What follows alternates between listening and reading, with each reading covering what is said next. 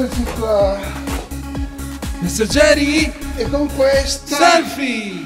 la Sangiovesa concludiamo. Messaggeri amore. Buongiorno, questa è la Sangiovesa. La Sangiovesa è nata nel 1988, qui si dovrebbe vedere, qui c'è la firma. E qui c'è scritto da Fellini, da Fellini. Una bella storiolina da raccontare su questa scultura qui, perché questa scultura ha dato il via a tutti i multipli che ho fa- cominciato a, appunto a produrre dal 1988 in poi. Prima di allora facevo solo esemplari unici con dei costi proibitivi perché con i tempi che ho io, eh, facendo passare il tassametro anche solo al costo di un manuale qualsiasi, costavano lire di Dio. In quel periodo conoscevo Tonino Guerra e lo bazzicavo sia per il fatto del cinema e per tutte le iniziative che lui faceva, culturali, eh, dove aggiungeva bellezza, approfitto così tanto la spoiler perché aggiungeva bellezza anche in certi posti. E allora uno dei posti che ha fatto nascere è la Sangiovese di Sant'Arcangelo, un locale realizzato usando un edificio di un eh, bellissimo edificio medievale con delle cantine dentro favolose dove Tonino Guerra ha fatto fare degli interventi artistici di lavoro, ha trovato il nome del locale, la Sangiovesa, e da Federico Fellini si fece mandare un disegno che è appunto questa, questa donna qui. No? Mi ricordo quando arrivò questo bozzetto, in stile i bozzetti che faceva Fellini, mi ricordo che nel bozzetto, questi sono i colori originali che aveva utilizzato Fellini nel, nel bozzetto, questo divano verde, questa donna di colore bianco, di carne, questa collana eh, tutto attorno, questa mascherina sulla faccia e aveva un piccolo foulard trasparente qui sulle ginocchia, però teneva le ginocchia un po' pizzuzzine, un pochino, un pochino elegantine. E c'era una frase qui che diceva chi è in realtà la potente cicciona, perché la maschera la nascondeva, no? Per cui la potente cicciona perché ha un viso, una testa piuttosto piccola a confronto del corpo, per cui la proporzione gli dà un senso di gigantismo, di potenza appunto. Da questo schizzo io fui incaricato di dipingere l'insegna che tuttora c'è, se andate a, Santa, a Sant'Arcangelo a visitare il locale della Sangiovesa, la insegna che è fuori è quella che ho dipinto io, magari la cambieranno prima o poi, no? Però per il momento è l'unica cosa che io ho fatto perché dipinsi anche, eh, disegnai sui vetri, erano otto vetri grandi, per otto volte, dopo aver fatto l'insegna, questo disegno che è l'icona della Sangiovese, no? è questa donna mh, felliniana seduta sul divano, per cui io la ripetevo otto volte. Per cui a forza di prima dipingerla e, e disegnarla sulla vetrata del locale, mi rimase la voglia di provare a mettere le sculture, perché fino a quel momento non solo facevo esemplari unici, ma facevo dei modelli estetici dei corpi dove il grasso non era previsto, anche se non è esattamente vero. Mi ricordo che una delle prime sculture che feci, feci un uomo piuttosto grasso, seduto in un contesto particolare, no? Però le donne le facevo tutte, diciamo, con quei canoni filiformi, estetici, da modella classica, no? E mi venne la voglia di provare a mettere in scultura e modellare la prima scultura in creta. Feci lo stampo in gomma siliconica e poi cominciai a produrla in scagliola. In scagliola perché io poi dopo la collana, perché dallo stampo in scagliola, anche se io gli avevo fatto il, il modello della collana, quando la tiravi fuori si staccavano tutte, no? Per cui gliele mettevo una a una con delle pietre di vetro, delle, delle perline di vetro con il fuori, con degli spiriti tic, tic, tic, facevo tutto questo lavoro qui, no? E mi ricordo che la prima, la prima che fece, proprio la prima prima, che la fece più o meno con questi colori, molto somigliante a questa, gli fece un basamento di... perché nello scritto di Fellini c'era accennato anche un po' di parquet di legno, no? Gli fece un bel basamento grosso così di un bel parquet antico che desse proprio una bella impressione e la regalai, la regalai a quelli del, ai padroni maggioli del, del, ristora, del, del ristorante la Sangiovese no? però ne avevo fatte anche altre 3-4 copie diverse tipo questa qui adesso tolgo questo per farvi vedere un po' la differenza con le altre perché il fatto di fare i 99 pezzi era per sbizzarrirmi e dopo con i colori. Ad esempio una cosa che non ho detto, si vede la rottura del divano qui, no? È scoppiato qui, è scoppiato qualcosa ed è la gomma piuma che ha fatto esplodere il peso della donna sedendosi. Questa Sangiovese, pur mantenendo il colore della, della della Sangiovese tradizionale, il divano mi sono sbizzarrito a farlo in un altro modo e ne ho fatti di, di, di, di tantissimi specie, colori, mi, so, mi, sono veramente sbizzarrito e posso sbizzarrirmi ancora tanto perché la produzione è ancora lontana dall'arrivare alla conclusione. E, e, per cui avevo già fatto 3-4 pezzi e gli chiesi se mi, mi facevo pagare una cazzata, mi sembra sembra, mi sembra 200.000 lire, perché non c'era l'euro ovviamente ancora, no? Quell'euro che ci doveva salvare doveva ancora venire.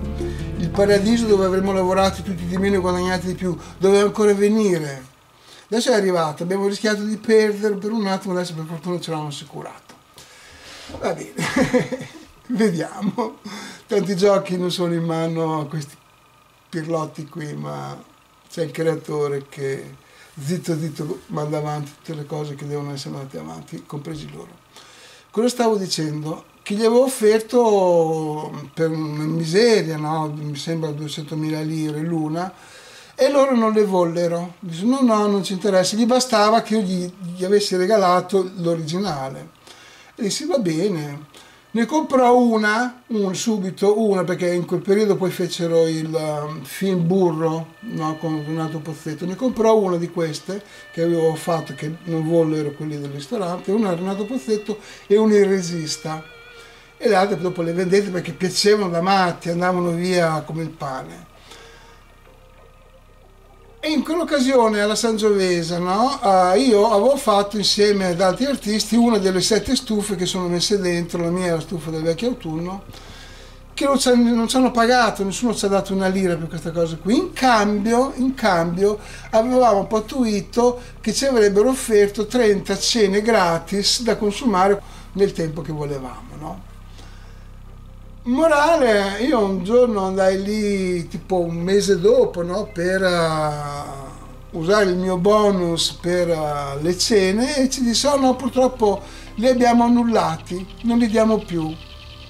Finito, tutto il lavoro fatto, neanche il gesto poetico di uno, una cena offerta, no? Il Maggioli ricco, che Tonino Guerra diceva, i miei amici ricchi rivolgendosi ai maggioli, no? I miei amici ricchi, belli amici ricchi che hai.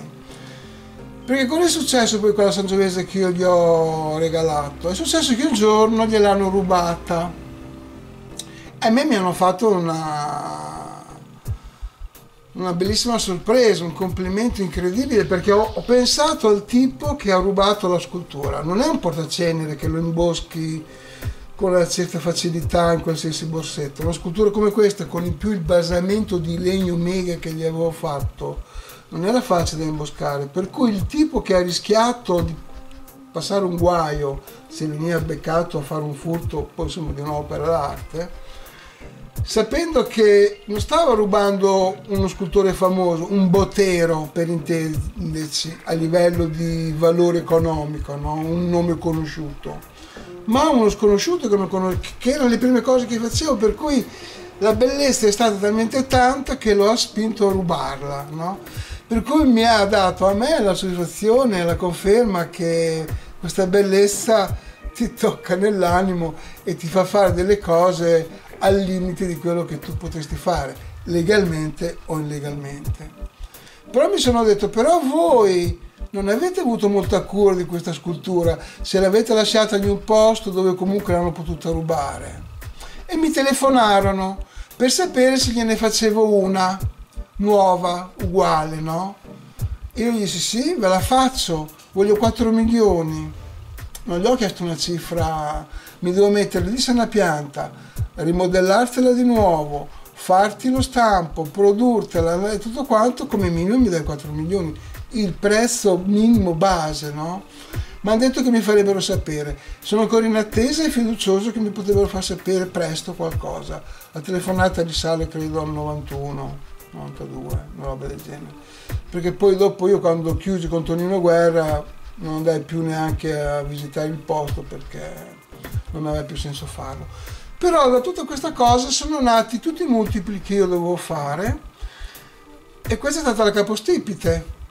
Dopo questa scultura qui che mi portò fortuna, la vide, la vide questo modello a Milano Marittima, uno svizzero che trafficava in oggetti d'arte, in arredamenti particolari, eccetera, e mi ordinò tre modelli da fare ex novo che voleva vendere, eccetera. Poi è sparito, non si è più fatto vedere niente, però mi diede l'input per fare i primi tre modelli che sono il modello Barbara, il modello, Mam, il modello Barbara, il modello Eva e il modello, il modello La Gitana. Furono i primi tre modelli che feci. Dopo mi sono andato e poi ho continuato a fare i modelli per i fatti miei. E come sempre nella vita c'è voluto uno sketch, una finta da una parte per farti muovere e fare una cosa dall'altra. Chissà se questa distruzione, questo sterminio che è nato da solo, sia una finta da una parte per far succedere una cosa dall'altra, o se deve andare nel modo nel quale scoprirò. Di sicuro è una strada che è stata imboccata e non ha diversioni a uno. In qualche modo si deve risolvere. O con uno sterminio totale, o con un'amnistia generale, o con una via di mezzo, una parte verrà sterminata e una parte verrà riscattata, perché alcune sono già state riscattate e c'è stata anche un'offerta molto bella per uh, Pasolini, l'unica offerta finora che c'è stata, non so se da qui al 21 settembre ce ne saranno altre di offerte economiche per uh, aiutare a non perdere l'unico monumento, l'unica scultura fatta a Pasolini degna di un grande poeta quale Pasolini è stato. Però intanto un bellissimo gesto è avvenuto e quello è già molto importante. Ok, con questo qui finisco di presentare il calendario dello sterminio e adesso mi tengo questa settimana di tempo per vedere che cosa succede, che cosa risponderete ma ho già visto che, come ho detto nel video precedente, adesso lo dico ma poi chiudo, ho visto che la, come dire, l'indifferenza no, da parte del popolo, delle persone, è quasi totale, quasi totale. Non so se c'è addirittura un gusto, un piacere nel vedermi apparentemente in difficoltà, no? secondo loro. Potrebbe anche essere, è nella mentalità delle ravennate.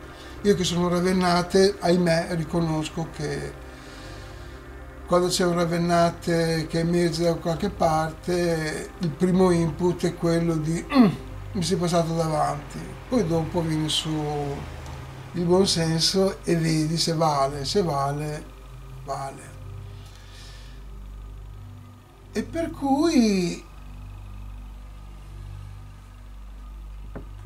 siamo arrivati alla fine del calendario. Vediamo cosa succede. Le istituzioni hanno confermato non che ce ne fosse bisogno, che ne hanno altamente per i baffi, no? di quello che io posso fare per la prosperità di tutta la città. E io, se la cosa si confermerà come credo, Me ne andrò serenamente da Ravenna felice di aver concluso un periodo che mi ha dato tanto come crescita, ma ora devo muovere le tende. Non so dove andrò, non so cosa farò, ma lo scoprirò. lo scoprirò. Finché avrò vita, finché avrò vita, continuerò a spenderla nelle parentesi che finora mi hanno accompagnato. Perché non ho mai avuto mancanze, mai buchi. Momenti difficili, certo, certo, certo. Però in quei momenti difficili si è visto quanto era forte la conoscenza, quanto è stato in grado di tirarmi fuori tutte le volte dai pasticci, in maniera sorprendente tutte le volte. Magari ne parlerò di queste belle esperienze della conoscenza con il maestro vivo per far capire perché sono così determinato e non mi vergogno a dire che l'unica persona che merita ascolto, che merita di essere seguito per me al mondo è Prelavato e ne conosco di persone importanti, tante, anche valide, ma dove Prelavato non c'è nessuno. Ho bisogno di raccontare qualche cosa, che adesso non è il caso, ma che mi piacerebbe raccontare presto perché è un piacere per me farlo, soprattutto per me, perché tutti questi video che ho fatto dello sterminio li ho fatti seguendo sempre il classico filone del io sono uno spettatore che ha bisogno di capire cosa sta succedendo. E ho visto che fare questi video mi è servito nel presentare le opere, ho scoperto anch'io dei significati che sfuggivano alla mia razionalità, ma che non erano sfuggiti al mio essere. E questa è già una cosa molto bella, che non fa altro che dirmi vai avanti. Qui ho finito, queste sono le Sangiovesi, ce ne sono due in sterminio. Per 200 euro potete avere il valore di 800 euro a occhi chiusi e non pentirvi mai di aver fatto un acquisto del genere. Se ne le comprate e lo sterminio viene annullato, spero tanto di farle vedere a chiunque che le possono toccare, possono mangiare in tavoli dove queste sculture sono lì e ti fanno compagnia e ti portano anche fortuna in qualche modo. Ok, qui finisce il calendario dello sterminio. A voi la scelta. Se firmare, se riscattare, se fregarvene, se continuare a darmi questo messaggio chiaro di grazie, non ci interessa la tua compagnia. Sei libero di andare. Io vado senza nessun rammarico di potermi dire in futuro, beh, potevi almeno chiedere no, cosa ne pensavano. Lo sto chiedendo, sto vedendo e il messaggio è chiaro. Ed è questo che volevo, chiarezza, perché con la chiarezza non hai mai problemi. Mai. Vi saluto e vi bacio dal profondo del mio cuore se mi avete ascoltato con piacere o anche con sopportazione. Vi ringrazio di avermi ascoltato perché mi avete dato un motivo per uh, mostrare la mia o pazzia o genialità o mediocrità. Chi lo deciderà sarà come sempre il tempo. Buonanotte a tutti e buone scelte. Jerry Selfie. Amo. Messaggeri amore